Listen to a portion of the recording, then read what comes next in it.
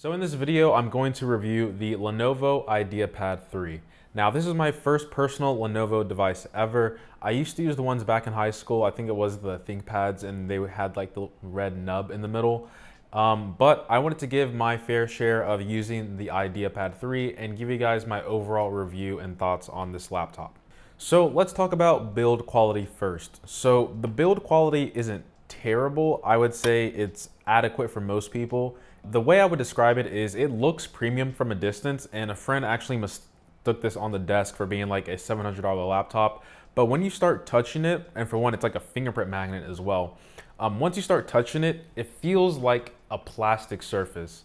Um, I will admit though, I like the minimalist and simplistic design that came out really weird. I like the minimal and simplistic design and for the first time ever, at least for me, this is the first time I've seen a company logo be off to the side instead of, instead of being directly in the middle right here. So I really like how Lenovo put the logo on the side and also inside the laptop as well. Now I want to talk about the display.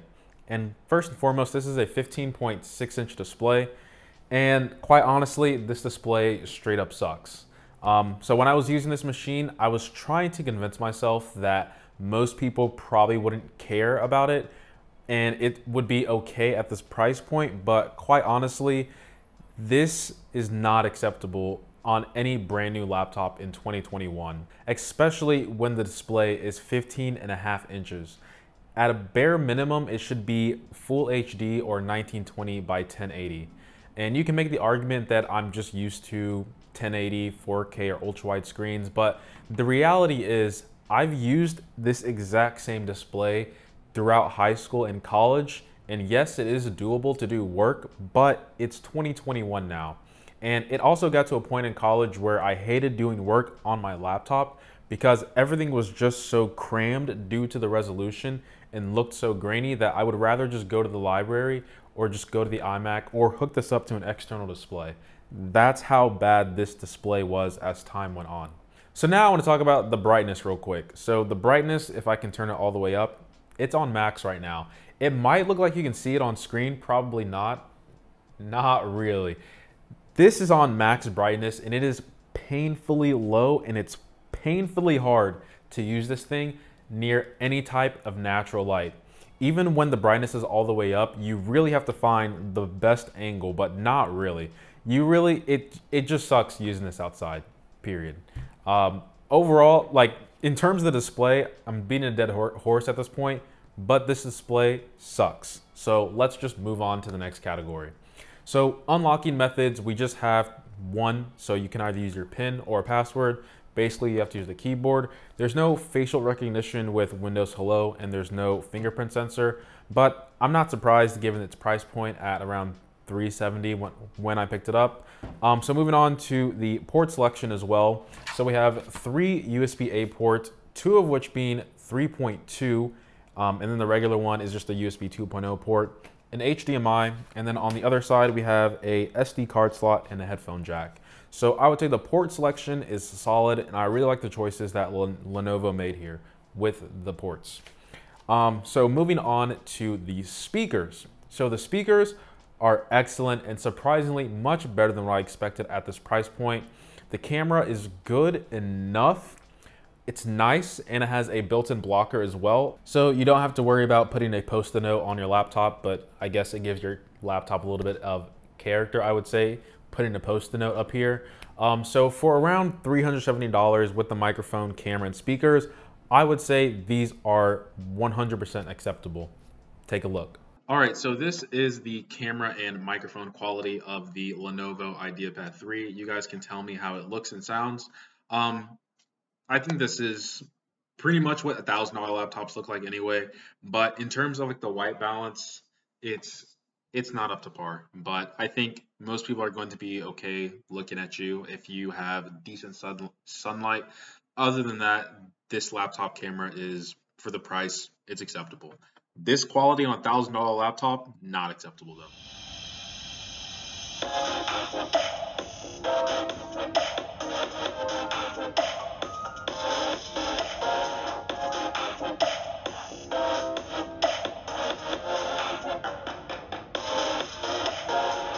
So let's talk about where this laptop excels, and it's the keyboard. Now, despite this laptop being $370, this is the best keyboard I've ever typed on on a laptop. If I would have to give it a rating, I would give this keyboard an 8 out of 10. The typing, I would give a 10 out of 10, but in itself, the keyboard overall, it's an 8 out of 10. So the reason why I'm giving it an 8 out of 10 is because I'm not a fan of the arrow keys and the numpad being so squished that at this point I wouldn't even bother putting them on the laptop itself, but they're there nonetheless. And another reason why I'm docking it a point is because there is no backlit functionality. Um, that's a deal breaker for me nowadays. And even in college, when I had a laptop similar to this, working at night was such a pain despite having the keyboard memorized. I really do feel like a backlit should be a standard on any new laptop these days because people do tend to work into the night. Um, but I rarely give things a 10 out of 10 and the typing experience on this laptop is a solid 10 out of 10 and I would die on that rock because the typing experience, I don't know what Lenovo did for their keyboard or their keycaps, key travel. It's like perfection. It really is. If I could take this keyboard experience and put it on my MacBook, that would be the dream. Like the Magic Keyboard, trust me, it's a great keyboard. But when you're up against this, I don't want to say it's a league of its own, but this is definitely a better typing experience for sure. So now that I'm done talking about the keyboard, let's talk about the trackpad a little bit. Um, so it's great. I have no complaints here in this category. Somehow this trackpad managed to impress me more than the Dell XPS, but quite honestly, with Dell laptops, the bar is pretty low over there as it is. So I'm gonna graze over the specs real quick. So this has an i3 10th gen chip.